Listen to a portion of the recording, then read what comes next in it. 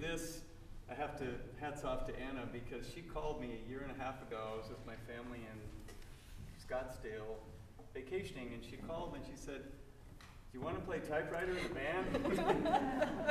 And of course I said, sure,